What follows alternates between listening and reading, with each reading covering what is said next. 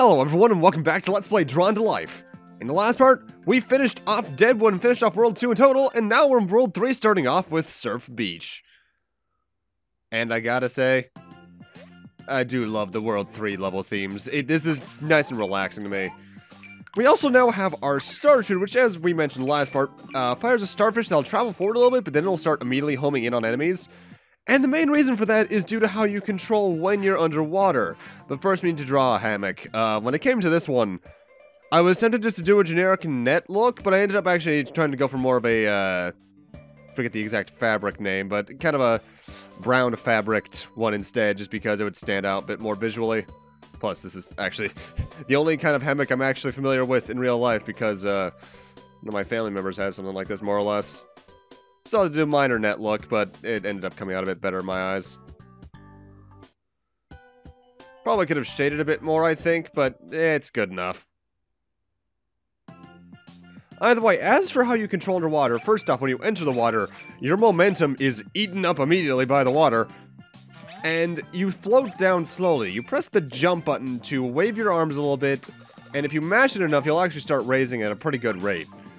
Uh, when you're on the sea floor, you still fall, uh, you still walk at more or less a normal speed, but it's when you have to try and jump that your control gets hampered.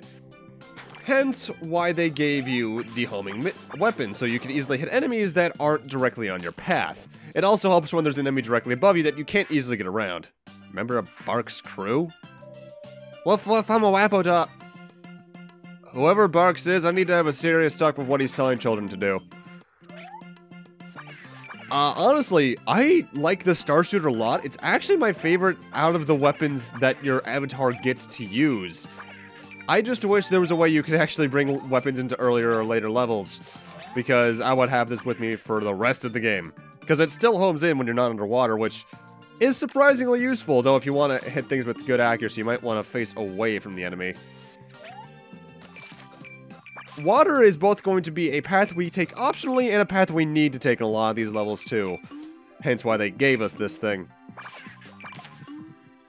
Uh, there are going to be some secrets here, but for the most part, actually, when we enter water, we are coming down here because it's the only way to progress. There are quite a few more dead ends in this world than there have been in prior ones.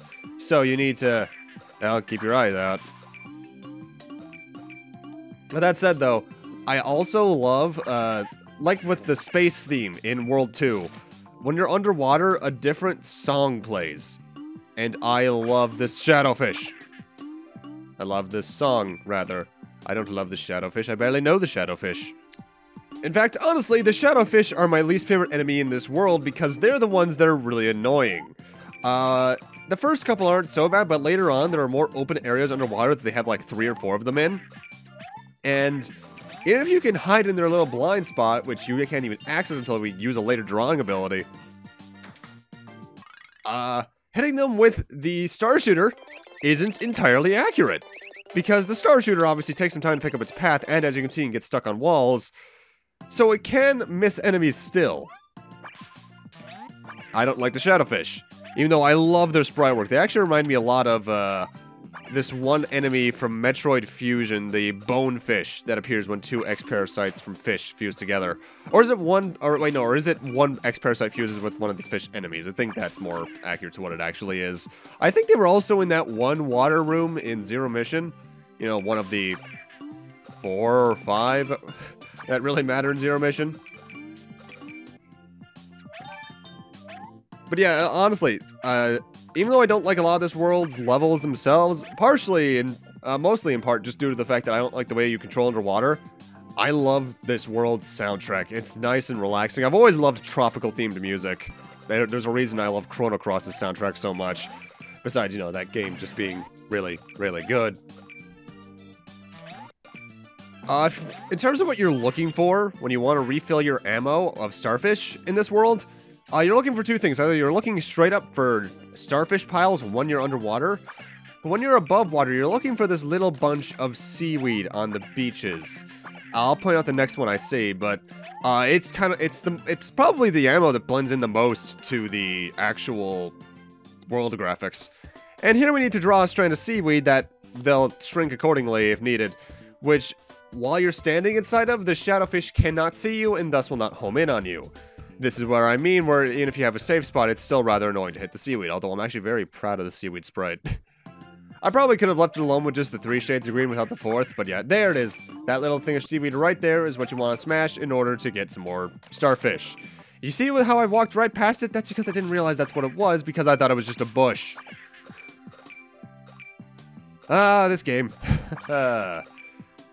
Mind you, again, that's probably the worst example of it, because you can usually see the snow mounds in the first world rather easily, and sometimes the leaves in the second world can blend in fairly well, other times they can't, they won't.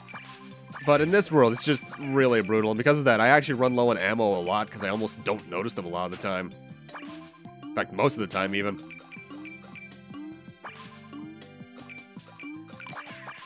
Uh, it is still fairly easy to take hits underwater, though, despite the sl slower control and ways to hide.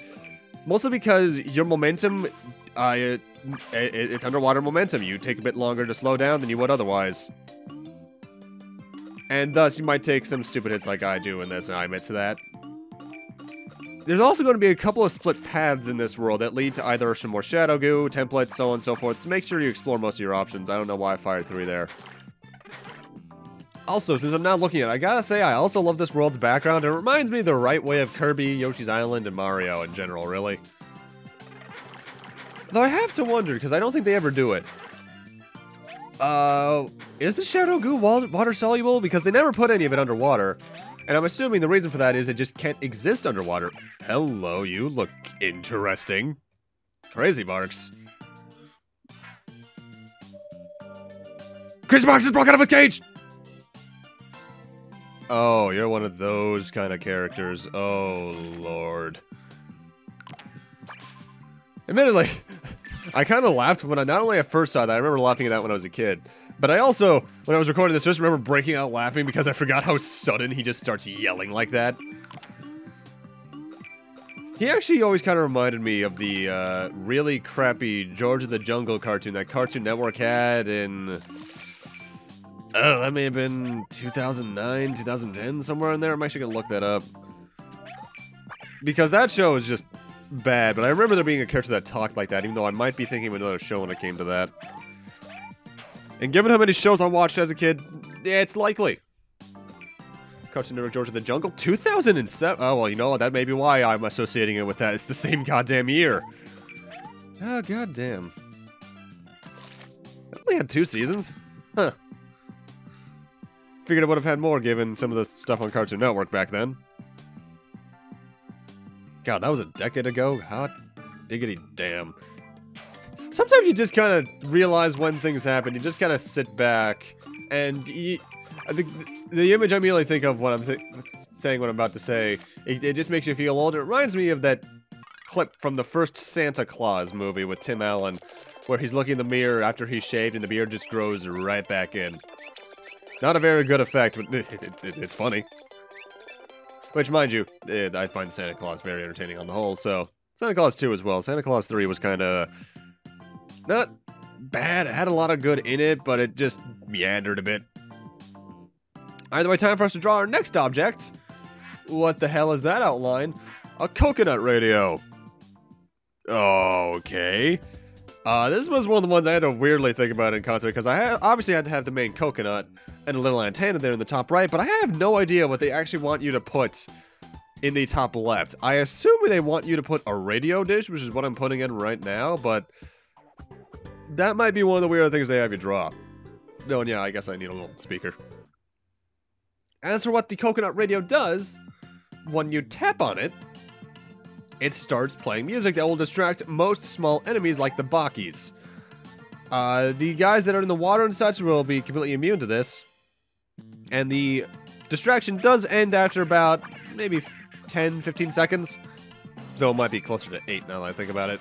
But it leaves basically enemies that are uh, afflicted by it as open season for you to get combos off of and get some extra money.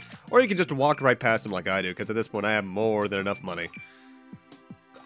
Because given the money that's basically impossible to avoid in your path anyway, I have more than enough to get all the ability token upgrades, and that's all I need from the shop. And here's our last Raposa. another member of Bark's crew. Crazy Barks is the best. He disturbs me in the weirdest way. Considering he taught a little girl to be a dog, uh, that's suspicious, to say the least. Uh, now, something I'm not entirely clear about when it comes to the seaweed is whether or not the hitbox that hides you from the shadowfish goes across the entire group of seaweed, or if the hitbox is just bigger than the actual seaweed itself, and thus you're just like sometimes in between two overlapping hitboxes. I can definitely say for a fact there are times where you think you're inside the hitbox and you're outside of it, like the first uh, group of seaweed. Because I was to the far right of it, even though I was just like two inches away from a wall, I was technically outside of its hitbox. Or I guess it's effect box more accurately because it doesn't hurt you. Which uh, I can understand happening in a game like this. You, you might have, given the way that the drawings work in this game, you're obviously going to have some hitbox dissonance, but still. Yeah, see, you can still hit them. Also, that's the slide. It's useless. I got it anyway, but out of the abilities you get from the shop, it's probably my least favorite because you don't slide forward enough to really make it worth using. Uh, if it was something maybe closer to Mega Man slide in distance, that would be a bit more useful. Maybe half that, maybe. But as it is, it's not too good. Uh, there, the other two abilities that we're going to get for our avatars we go through, though, are much more useful, alongside the flip, which is already really useful depending on where you are. Also, I think this is the first time we've seen a Baki pile. Uh, essentially, it takes three hits to kill instead of one because it's one to knock them down, then one for each of them. Uh, although I do like, I, I love the little happy faces they have when they're in the pile. It's so goddamn cute. Mind you, like I've said, this game is just adorable. Uh, this is not a good situation to be in at all. Oh, how did I get out of that? I should not have gotten out of that. I should be dead. Of course, they can make a dumb mistake like that anyway. If I recall the stage design, though, we are getting close to the end of the stage. We still have one more section, but uh, it's one of those set piece sections where they give you one last tool to kind of mess around with, so I'll see what that is when we get to it. For right now, we're just going to activate that radio to just kind of get rid of any enemies that's in our way, and head on over. And now we need to draw our last thing, a surfboard. This one, I believe, I also partially based off something my brother showed me back when he was trying to get me into some sporty stuff. Uh, which, yeah, that that's basically it. Kept the top green and added a shadow to the little, I forget the name of the thing on the bottom of the surfboard. I, I'm not a surfer. And now we can get onto it. The surfboard, you actually control yourself. You can dip it up or down. You can also jump with it to try and get some extra air and get some extra coins. But otherwise, as long as you just stay on the water's edge, you're basically good. I don't think there's anything really major along the way for you to collect, so you don't really have to worry about much. Though I do recommend trying to get the jumps, because I think you get a bit more money out of it like that. But really, there's nothing useful to it. It's just a nice little set piece. And that's also the end of the level. See, that was in a short section, wasn't it? On the whole, the first level, I'm not a fan of the underwater controls, which is going to be a problem throughout the entire world, obviously, but they do enough interesting with the items we make in the first level, at least, that I like it enough. And that's another group of Raposa uh, found, another group of secrets found, and more goo cleaned from the world. What do you think is the texture of the shadow goo? I, I, I'm thinking it's something like those weird slime toys that were popular in like 2000. I think I've made a resurgence recently. Oh boy. Hi, Heather. Crazy Barks is back! Oh, thank God he didn't talk too much. Hi, Heather. Jam to the coconut radio, hit behind some seaweed. What are you doing? I don't get that movement. I don't understand, Heather.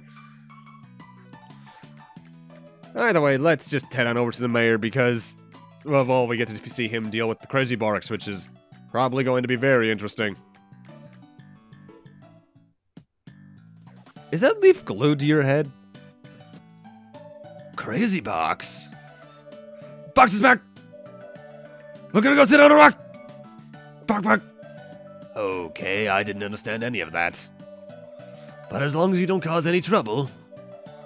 Crazy Barks will be on his rock! I'll be okay on his rock, rather. Sorry, I messed up your clearly important dialogue.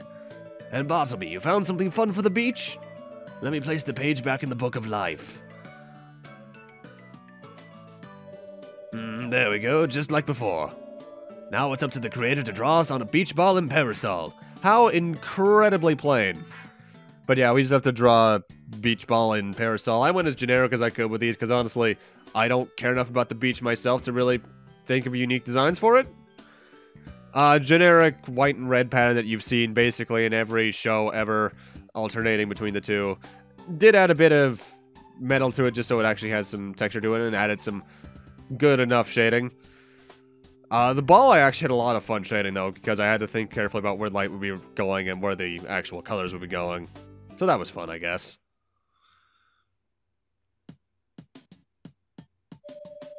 Everyone ran up to the beach. I'm sure they're having fun with the new toys.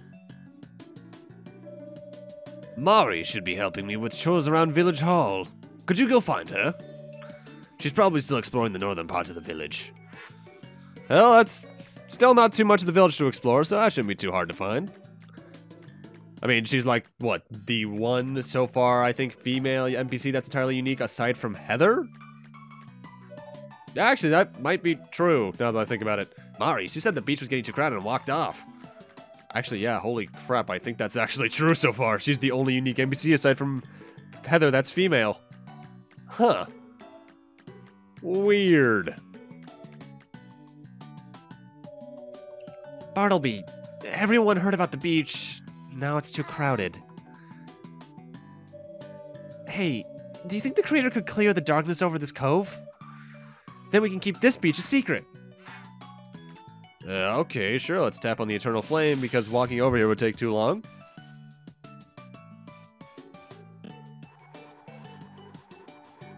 It's around this point that I am actually starting to jump cut back to the Eternal Flame more often than not because it could take a while to walk back here at this point. Enough that I probably won't have anything to talk about over at least. Oh, that's a nice little cove, ain't it?